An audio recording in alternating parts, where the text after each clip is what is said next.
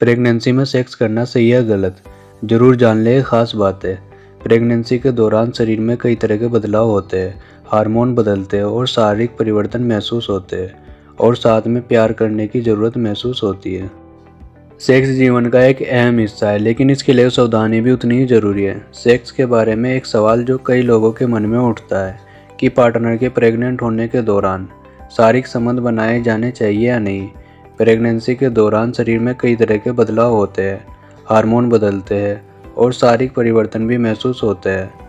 और साथ में प्यार की ज़रूरत भी महसूस होती है। वैसे भी सेक्स महज एक शारीरिक सुख नहीं है, इसका भावनाओं से भी उतना ही लगाव है। ख़ास बात यह है कि गर्भावस्था के दौरान महिलाओं को सेक्स में अधिक आनंद की प्राप्ति होती है। इसका कारण है कि जननांगों में बढ़ा हुआ रक्त प्रवाह उन्हें अधिक संवेदनशील बना सकता है। साथ ही गर्भावस्था के दौरान स्तन अधिक संवेदनशील हो जाते हैं। कुल मिलाकर गर्भावस्था के दौरान सेक्स किया जा सकता है, लेकिन कुछ सावधानी बरतनी होगी। जानिए इससे जुड़ी कुछ बातें। प्रेगनेंसी के किसी भी स्तर पर सेक्स सुरक्षित होता है, और इससे कोख में पल रहे शिशु को कोई नुकसान नहीं होगा।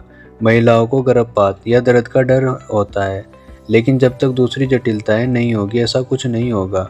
अगर मन में ऐसे डर होते हैं तो डॉक्टर से ज़रूर बात करनी चाहिए।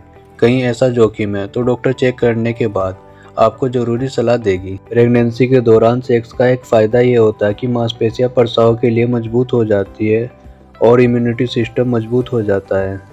सेक्स के दौरान भून को कोई नुकसान नहीं पहुँचता, क्योंकि सेक्स में उपयोग किए जाने वाले अंग अलग होते हैं। इस प्रक्रिया में भून का कोई संबंध नहीं होता।